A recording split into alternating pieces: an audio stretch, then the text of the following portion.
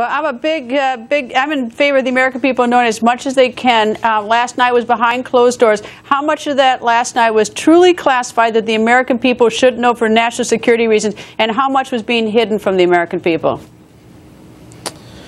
Well, you don't know how much is being hidden because they obviously didn't tell us what they were hiding, if they were hiding anything. But a very small amount of the briefing last night was truly classified. Most of it was information that they had in their possession that they had not shared with us before they made the decision.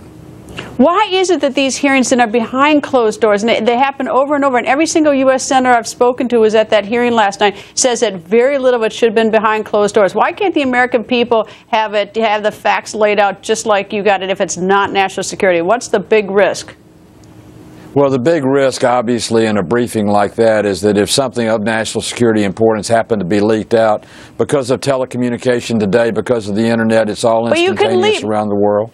But you just said it wasn't national security, and if there's a discussion where all of a sudden you, you know you get near something national security, then you throw everybody out. But instead, it's just the door is shut, and we don't get we don't get let in. And, and Senator Dick Durbin said that lots of stuff in the media is inaccurate. Well, let us in. But Greta, before we went in that meeting, we didn't know what we were going to hear. So to ask to open the meeting without knowing what you're going to hear could put something at risk. That's the point. The White House was in control. They decided to disclose what they decided to disclose, most of which was not classified. But before the meeting, when we went in, we didn't know what was going to be disclosed. So obviously we needed a closed meeting.